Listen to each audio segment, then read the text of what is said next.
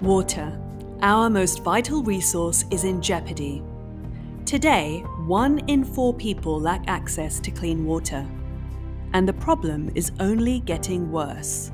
By 2030, we will lack 40% of the water necessary to meet global needs. Seawater desalination is an effective technology, but today it is too complex and unaffordable to offer a real solution to many communities around the world. We need bold solutions, and we need them now.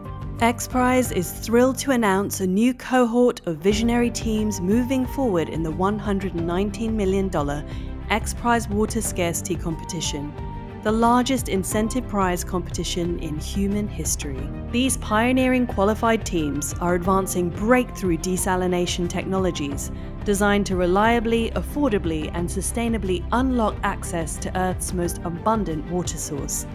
Together, we can meet this challenge. For more information, visit xprize.org/water.